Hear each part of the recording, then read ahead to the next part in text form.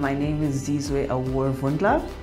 I'm a Kenyan, I'm a South African, I'm an African woman, um, I'm a sister, I'm a daughter, I'm a friend, and I happen to be a brand builder and an organizational builder. I'm currently doing that for a company called Procter & Gamble where I head up the marketing and commercial division for South Africa. My first why is um, one could see it as selfish, but it actually isn't. My first why is to be happy. So every morning I wake up, um, my goal that day is um, how can I be happy today, or how am I going to choose happy today, right? And why I say that sometimes that can be defined as selfish um, is that you think it's a selfish act, but the things that make me happy are me making other people happy, which comes to my second why. My second why is how do I make my continent better? How do I make my family better? How do I make specifically African women happy. Oh, um, and those are the things which make me happy. So if I tick those boxes, then I've chosen happy and I'm happy. So that's my why. Um, I hope to leave the continent and specifically African women happier and better than um, they were 40 years ago. I'm not always fearless, and I think that's the first thing I, I, I, would need to acknowledge is that even as a fearless moment, there are moments when you are fearful. And it's that moment when you choose to put aside the fear and um, be brave.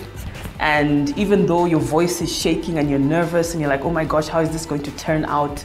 And still going for it, that makes you brave and fearless. So that's what makes me fearless, I think. The fact that even when I'm scared and even when I'm not sure, and there have been many instances in my life where I'm not sure how things would pan out or how people would um, view me based on what I was about to do, but I still went out and doing it because I believed in it and I was very, I was, I was very uh, passionate about what I wanted to do. That's what made me fearless, going out even when I'm scared.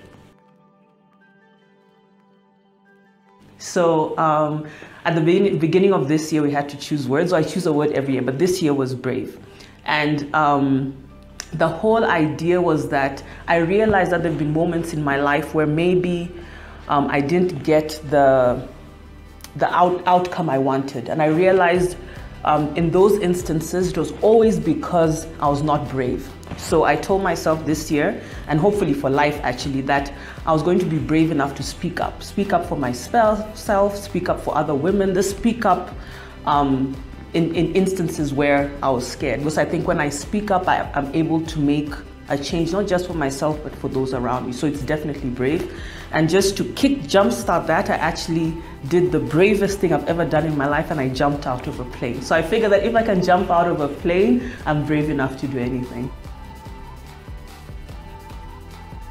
I would tell myself to trust my gut in all instances because um, your gut always knows. Your inner self, your soul, whatever you want to call it, always knows.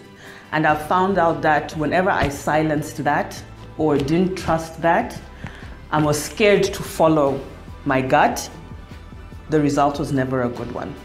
Um, so I'll tell myself to always follow your gut and always speak up what your soul was was saying. Um, so it would be speak up. It would, it would be about being brave. It would be about just even when you were scared, speaking up, speaking up to authorities, speaking up to people who thought they knew you better than you knew yourself um, because no one can do that. So it would, it, would, it, would, it would fall under the mantra of speaking up um, bravely for what I believed in and what I knew was right.